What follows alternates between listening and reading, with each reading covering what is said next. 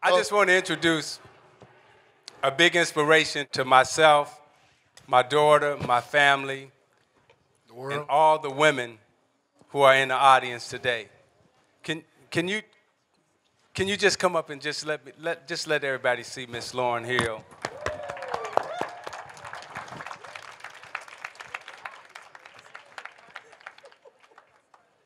to all the men in the audience, the so called men, I want you to understand that this woman taught me how to be a man and how to be a husband and how to be a boyfriend. So if you haven't listened to it, go back and get your old school album and listen to Miss Lauryn Hill. just say hello. Just please just say Hi, everybody. Um,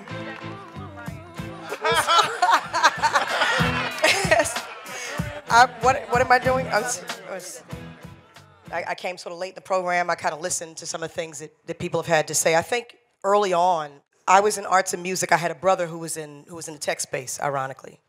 When I was a child, my father was a computer programmer and an entrepreneur. My mother was an English teacher. And uh, we kind of grew up, my brother and I, the fusion of those energies and those directions and those, those focuses. I heard you, Chameleon, talk about your thirst for information. I think that thirst for information is a thirst for empowerment, which is also connected to a thirst for freedom. I remember this, this was like, I want to say, you know, late 90s, early 2000s. I saw my brother, you know, he had very high hopes about the potential of the tech space, but I don't think that at that point we had come together. We weren't walking together. It was sort of, there were people who were like makers of content, and then there were text-based professionals and people who had a desire, right, to be in this space. But I don't think at that point that they understood to what degree they had to hold hands in order to make the relationship successful. I think since I've been away and as time has passed, those two communities are holding hands much better. They have a better respect for each other. You know, um, I used to say something jokingly back in the day about how you had street folks who kind of legitim- legitimized the academics and the academics who legitimized what the people on the streets were doing. Even the concept that you mentioned just now about the inner nerd, I think what's happening is, is that everybody is sort of being allowed to be themselves, meaning that the, the street intellectual is acknowledging that he's an intellectual, you know what I mean? Or he also is an academic of something. And then you have the people who are in the academic space and they realize that they also have a world of experience and desires culturally, creatively, that they want to also aspire to. I think before in the world there was this huge schism, right? There was it's kind of like uh, the history of slavery, where you had the the the house slave, right, and the and the slave in the field. You had people who were given permission or who were granted permission to reach a certain academic status.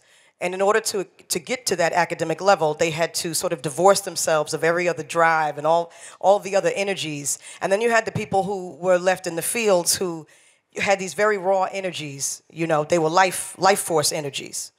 But they weren't really allowed with the, with the volatility, you know, and the hostility that came from the experience of slavery to touch the academic spaces. There were few people within that community who could touch both worlds. They, they crossed both spaces. They were both academics, and they were also, um, they also had access to the streets.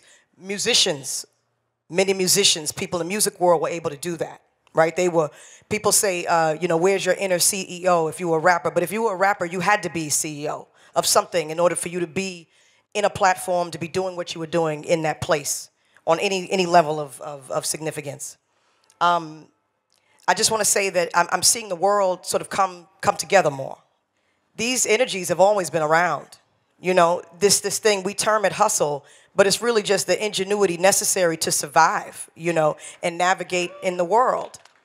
We call it hustle because um, I imagine that's just, you know, our way of giving it a name because sometimes we want to divorce ourselves from from the academic space because that academic space was a source of brutality and hostility for a long time.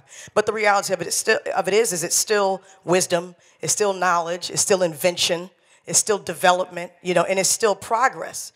So I think as we kind of pull back these labels, we can acknowledge brilliance in the streets, we can acknowledge soul in the academic space, and we can allow these things to come together. Um, the world is filled with way too many bright people for us to still have the problems that we have in the world. It's, it's going to be our shame, you know what I mean? That we don't sit together and create people who invest with thought and consideration and care to solve the world's problems. If we can do all these things, all these things that we do digitally, technologically, economically, we can feed people, we can, we can educate people through poverty. We can solve the problems of poverty. Poverty isn't even something that should exist in this world at this point because we have wealth, we have intellect, we have the ability to develop and design and create whatever we want to. The question is, is do we want to? That's what we have to ask ourselves. Um, you know, I've been away from a lot of things, you know, for, for a while now, and, um, and incubating, you know, ideas, and doing what I needed to do to, to, to how do I say, uh, to deal with the resistance that comes with making change in the world. You know, we ask ourselves, you know, how come these things haven't been around or why was this thing not invented? There was a reason. There, there were forces that were set up to prevent, you know, certain patterns of evolution, certain patterns of development, right? All this, this, this, this street hustle, right? It, it, it would have dominated if it really had, you know, access early on, which is why it was suppressed, you know what I mean? Which, which is why it was met with resistance. But we have the ability now to see the resistance, acknowledge it for what it is, and go beyond it and go past it. You know, and I think it just takes courageous folks, you know, who are not afraid to see the new world that's on the horizon, you know, separated by education and economics. You know, we actually can make spaces for everyone, but it requires that the creatives, the academics, you know, the intellectuals, those who think with their heart, and emotional intelligent ones, you know, all come together, you know, in the same platform with the same kind of driving and unifying, unifying forces to see this world improve. We have the answers. We have so many of the answers. We have the technology. We have the wealth. We just have to be willing to share it.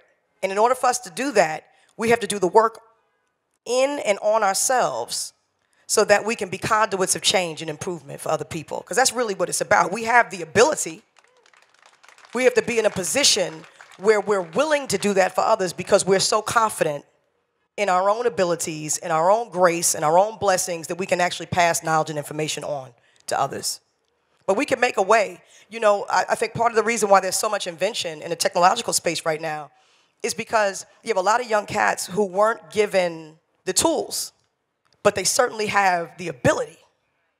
And what the space does is it neutralizes so much so that you know, if you don't have on the right clothing or you don't choose the, all the right words all the time, you still have a way. So, in that respect, we should be very proud, you know what I mean? Very, very happy, very pleased with what's happening.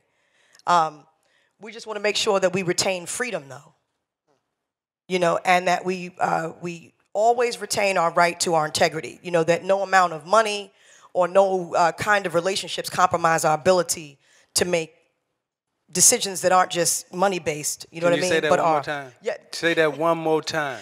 To make sure that we're we're in a position always to make decisions that aren't just money based, but that are moral, that are ethical, that are right. That are right, that we evolve, you know, uh, we evolve morally, emotionally, spiritually, uh, uh, ethically as we evolve technologically, financially. We just have to make sure that we, we're aligned, you know?